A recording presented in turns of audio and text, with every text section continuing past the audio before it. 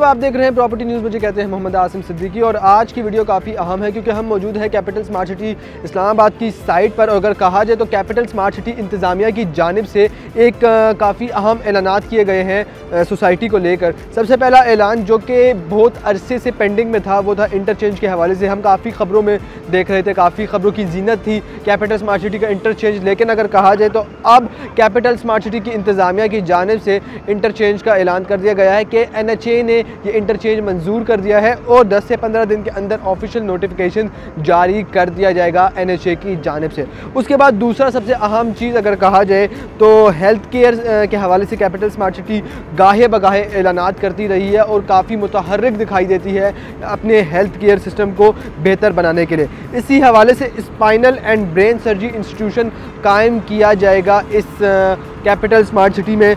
ताकि इन जो लोगों की सेहत है, उस बात को यकीनी बनाया जा सके। इसके साथ साथ एक अहम ऐलान करता चलूँ, एक अहम बात जो कि कैपिटल स्मार्ट सिटी की इंतज़ामिया की जानब से की गई है, वो ये कि जो यूनिवर्सिटी का क़्याम है, हेल्थ केयर सेंटर का क़्याम है, और इसके साथ साथ गंधारा जो गंधारा सिविलाइजेशन है, उसकी जो एक नकल अगर बनाई जा रही है कैपिटल स्मार्ट स्मार्ट सिटी में तो उन तमाम तर अलॉटीज़ को अलाटमेंट लेटर जो है, दिए गए हैं। उन तमाम तर पार्टनर्स को, जो कि इन तमाम तर चीज़ों को तामीर कर रहे हैं, उनको अलॉटमेंट लेटर्स भी जारी किए गए हैं। इसके साथ साथ Harley brain and spine hospital को अलाटमेंट लेटर जारी किया गया है।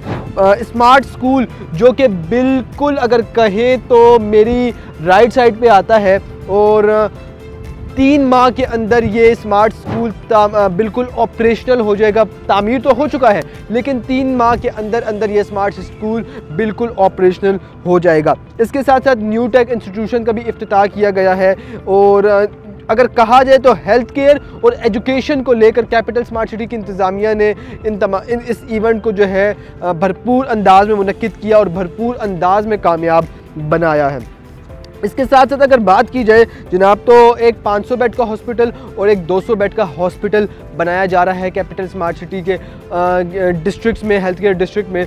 और इन ताला अगर कहा जाए तो आने वाले एक से दो साल के अंदर में इन हॉस्पिटल्स को ऑपरेशनल कर दिया जाएगा। ये थी तमाम वो अपडेट जो कि कैपिटल स्मार्ट सिटी के इवेंट में कही गई, इंतज़ामिया की जानब से और लोगों को बताई गई। और अगर कहा जाए तो कैपिटल स्मार्ट सिटी पाकिस्तान का वो एक स्मार्ट सिटी है, जो कि दुनिया भर में अपनी एक मुनफरद पहचान बनाएगा। तो जनाब, आज की वीडियो से फिल वक्त इतना ही। उम्मीद है आपको वीडियो पसंद आई होगी। ये तमाम तर अपडेट्स कैपिटल स्मार्ट सिटी के सरमाकारों के लिए काफ़ी इंपॉर्टेंट थी, काफ़ी ज़रूरी थी। तो जनाब वीडियो को करते हैं अख्ताम पजीर और जाते जाते सिर्फ़ यही कहूँगा कि हमारी इस मेहनत से अपनी मोहब्बत का इजहार ज़रूर कीजिए प्रॉपर्टी न्यूज़ के सोशल मीडिया हैंडल्स को कीजिए फॉलो लाइक शेयर सब्सक्राइब और मुझे दीजिए इजाज़त, अल्लाह ने के बानी।